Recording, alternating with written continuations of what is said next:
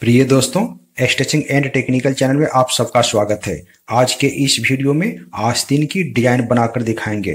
बिल्कुल नई, सुंदर और सरल, आसान तरीके से। चलें, डिज़ाइन बनाना शुरू करते हैं। सबसे पहले हम आस्तीन का नाप देख लेते हैं। तो स्लीव का लेंथ है साढ़े चार इंच। तो इस तरीके से हम साढ़े चार इंच पर ले लिए हैं। और मसल इसका है छ इंच तीन सौ साइज़ ये है चौंतीस। यहाँ हम एक इंच पे एक मार्क कर लेंगे इस तरीके से। उसके बाद हम यहाँ ढाई इंच पर एक मार्क करेंगे ऐसे। इसको हम यहाँ से राउंड घुमा लेंगे इस तरीके से। उसके बाद हम इसको क्या करेंगे? इसको हम डेढ़ इंच पे एक मार्क करेंगे इस तरीके से। यहाँ हम डेढ़ इंच पे मार्क कर लेते हैं। ये हम डिज़ाइन बनाने के लिए इसको मार्क कर रहे हैं। तो इस तरीके से आप मार्क कर लीजिए। यहाँ हम जो मार्क किए हैं पहले एक इंच पे, उसके हिसाब से करेंगे इसको राउंड शेप इस तरीके से।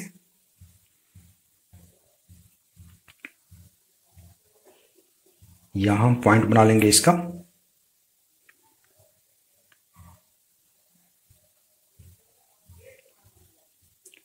उसके बाद हम इसको खोल लेते हैं। खोलने के बाद इसको, ये लाइन जो है उसको हम वहाँ ले जाकर मिला देंगे राउंड में इस तरीके से। और यहाँ फिर जो बाकी बच रहा है हमारा हिस्सा, उसको भी हम इस तरीके से मार्क कर लेंगे। ये बहुत ही सरल तरीका है दोस्तों डिज़ाइन बनाने के लिए। अब इसको हम क्या करेंगे? एक पेपर कोई ले लेंगे नीचे और उसको पेपर पे रख के नीडल का धागा निकाल देंगे और उस पर सिलाई लगा देंगे ताकि हमारे पेपर पे मार्क उसका आ जाए। तो इस तरीके से हम धागा निकालकर इस पे स्टिच कर देते हैं। इस तरीके से हम धागा निकाल दिए हैं। दोनों लाइन पे हम इस तरीके से मार्क कर लेते हैं। नीडल मार्क आ जाएगा उस पर और उसके बाद हम उसको कटिंग कर लेंगे इस तरीके से। इस तरीके से हम पेपर को कटिंग कर लेंगे। कटिंग करके इस पेपर से हम मार्किंग कर लेंगे और इसी पेपर से हम इसके लिए जो हम एक्स्ट्रा डिज़ाइन बनाएँगे कलर का, उसको कटिंग करेंगे। तो इस तरीके से हम कटिंग कर लिया इसको। अब ऐसे हम बैठाएँगे इसको दोनों साइड से।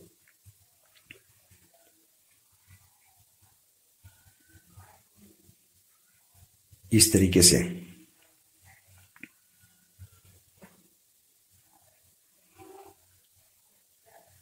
यहाँ हम एक सेंटर का मार्क लगा लेते हैं।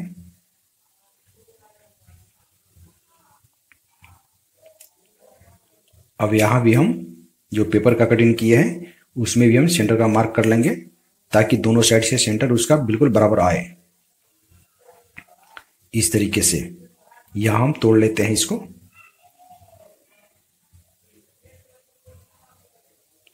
अब इस तरीके से मार्किंग कर लेंगे उसको। अब ये बिल्कुल परफेक्ट आएगा दोस्तों। अब इसका जो है बीच वाला हिस्सा हम निकाल देंगे इस तरीके से।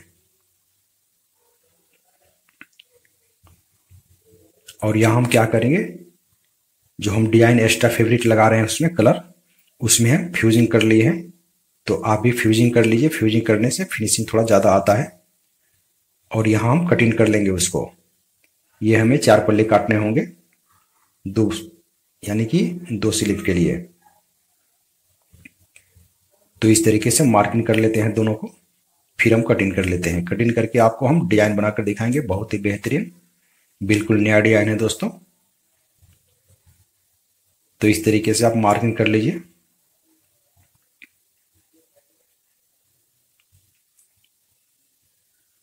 फिर इसको हम कटिंग कर लेते हैं। कटिंग करके इसको हम डिज़ाइन बनाकर आपको दिखाते हैं। हमारे चैनल से जुड़े रहने के लिए चैनल को सब्सक्राइब करें और साथ में बेल आइकन को प्रेस कर दें, जिससे नई वीडियो आप तक आसानी से पहुँच सके। तो इस तरीके से हम कटिंग करेंगे। हमारे इस चैनल पे दोस्तों, लेडीज़ और जेंट्स सभी के लिए कपड़े कटिंग और स्टिचिंग करके दिखाए जाते हैं फार्मूले के साथ। हमारे जो भी दोस्त नए सीखने वाले हैं वो इस चैनल पे आए और अच्छे से फार्मूले के साथ कटिंग करना, सिलाई करना डिज़ाइनिंग बनाना सीखें। तो इस तरीके से हम इसको कटिंग कर लिए हैं। यहाँ हम ये लूप बनाए हैं तो हम आपको यहाँ एक लुक बनाकर दिखा देते हैं। तो ये हम सवा इंच का कटिंग किया है लूप का। तो इस तरीके से हम इसको बना लेंगे लूप को और इसको पलट लेंगे।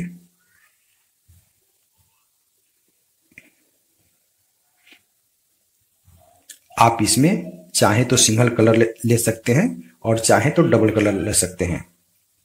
तो इस तरीके से हम लूप को पलट लिए हैं और उसको बाद प्रेस कर लिए हैं। तो हम इसमें दो कलर यूज़ कर रहे हैं। यहाँ हम एक इसमें फेसिंग काटेंगे। तो अगर आपको अस्तर वाला ब्लाउज बनाना है अस्तर वाला स्लीव बनाना है आस्तीन तो इसमें आपको फेसिंग लगाने का कोई आवश्यकता नहीं है। अस्तर अस्तर से आप इसको पलट लेंगे। हम इसमें अस्तर नहीं लगा रहे हैं, इसलिए ये फेसिंग लगा रहे हैं।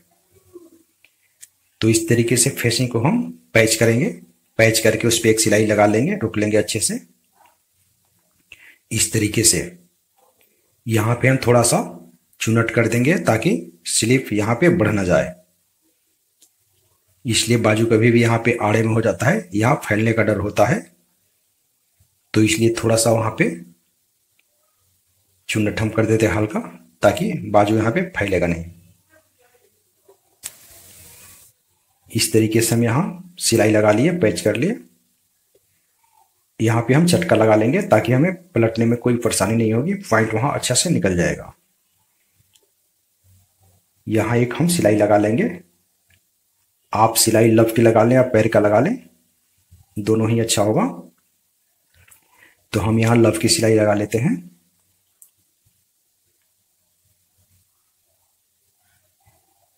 इस तरीके से आप लव की सिलाई लगा लीजिए। उसके बाद हम इसका डिज़ाइन बनाकर दिखाते हैं। बहुत ही सुंदर और सरल डिज़ाइन है दोस्तों। इस तरीके से हम दोनों स्लीप में सिलाई लगा लेते हैं।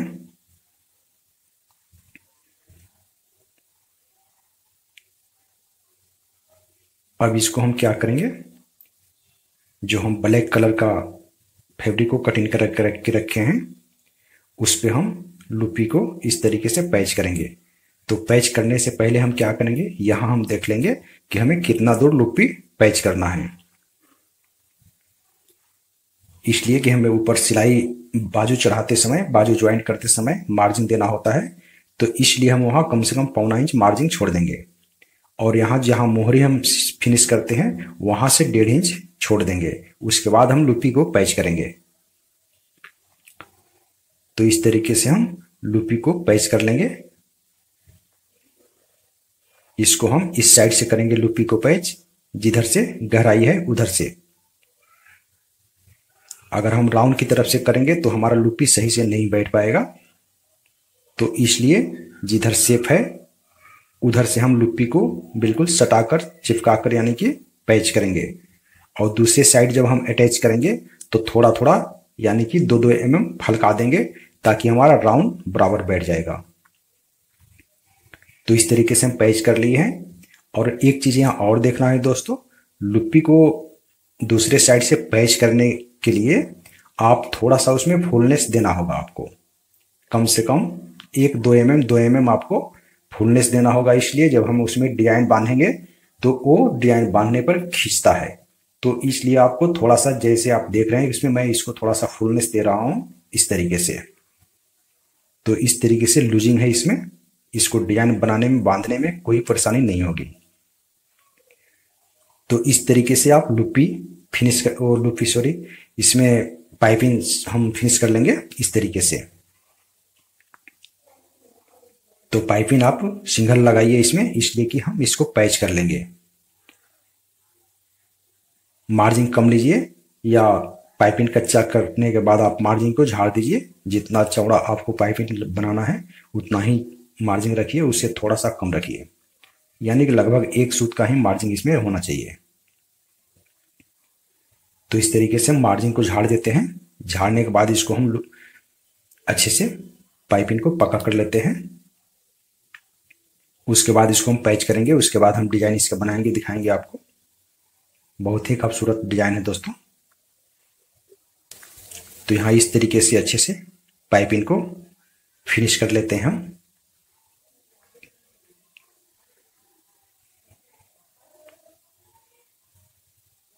ये पाइपिंग हमें दोनों साइड में फिनिश करना होगा।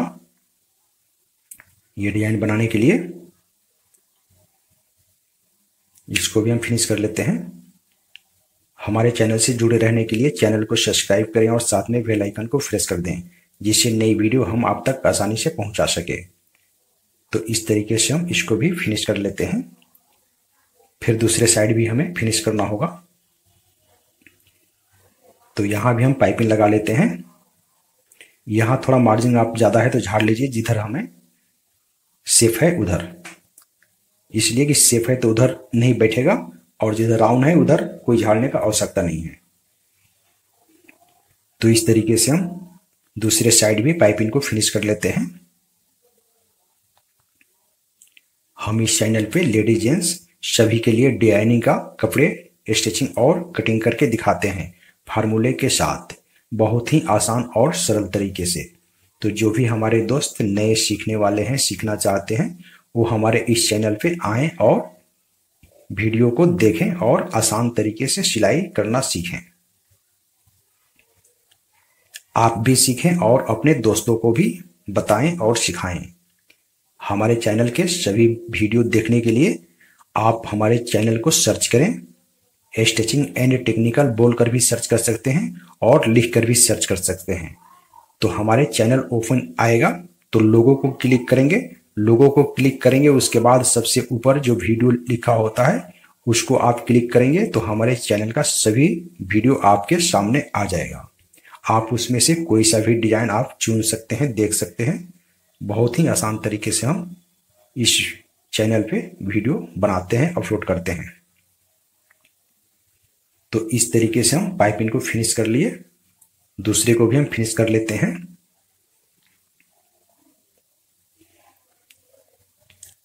इसमें हम एक स्लिप को आपको तैयार करके दिखाएँगे। इसलिए दोनों स्लिप को दिखाना कोई आवश्यकता नहीं है। इसलिए कि उसमें समय ज़्यादा लगेगा और आपका समय खराब होगा। तो इसलिए हम एक स्लिप को बनाकर दिखा देते हैं। तो इस तरीके से हम दोनों को फिनिश कर लिए। अभी इसको हम किस तरीके से पैच करेंगे दोस्तों? आसान तरीका है, बिल्कुल। तो ये देख सकते हैं इस तरीके से। तो हम इसमें क्या करेंगे दोस्तों? बैक जो है, पहले बैक को पैच करेंगे, इसलिए हम फ्रंट को ऊपर रखेंगे। तो पहले हम बैक को पैच कर लेते हैं, उसके बाद फ्रंट को पैच करेंगे। तो यहाँ हम इस तरीके से नीचे हम देखते आएँगे कि हमारा पाइपिंग के जड़ में सिलाई होना चाहिए और नीचे वाला जो हम सिलाई लगाए हैं, उसी पे सिलाई चलना चाहिए। तो इस तरीके से हम इसको पैच कर लेते हैं।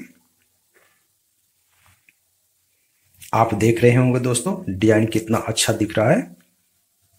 तो ऐसे ऐसे डिज़ाइन हम स्लीव का, गले का और पैंट शर्ट का कटिंग, कुर्ता का कटिंग हर चीज़ कटिंग और स्टिचिंग करके दिखाते हैं। तो इस तरीके से हम दूसरे डिज़ाइन को भी इस पे पैच कर लेंगे। इस तरीके से। यहाँ नीचे भी हम देखेंगे कि नीचे सिलाई हमारा उतरना नहीं चाहिए। सिलाई बिल्कुल उसी सिलाई पे होना चाहिए जिस पे हम लव की सिलाई लगाए हैं।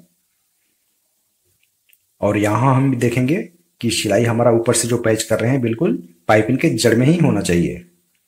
इससे क्या होगा कि फिनिशिंग अच्छा आएगा। आप देख रहे होंगे दोस्तों कि फिनिशिंग कितना अच्छा आया इसका। अब इसमें हम आपको मोती लगाकर दिखा देते हैं, कैसे लगाना है आपको।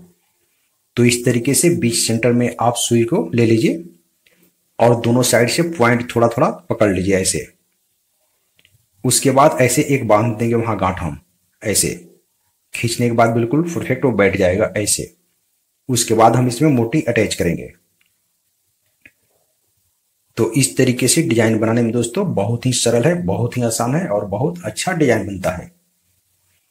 तो इस तरीके से आप अच्छे अच्छे डिज़ाइन बना सकते हैं। ये डिज़ाइन जो हम आपको दिखा रहे हैं, ये गले पे भी लगाएँगे, गले पे भी सुंदर आएगा और स्लीप भी सुंदर आएगा। तो इसका गला का भी डिज़ाइन हम बनाए हैं दोस्तों। तो गला का डिज़ाइन आपको देखना है। तो इस वीडियो के लिंक पे हम इसका गला का डिज़ाइन दे देंगे। और ये फ्रिंजेस कट ब्लाउज के लिए हम तैयार कर रहे हैं स्लीव तो आपको फ्रिंजेस कट ब्लाउज का जो है कटिंग भी दिखा देंगे इस पे। तो हमारे कोई सा भी वीडियो देखते हैं तो उस पर हो सकता है कि किसी किसी वीडियो पे हम किसी किसी डिज़ाइन का किसी किसी कटिंग का लिंक दे देते हैं। तो आप कभी लिंक को क्लिक करके देखिए। तो इस तरीके से अच्छे से आप इसमें मोती को टक कर दीजिए।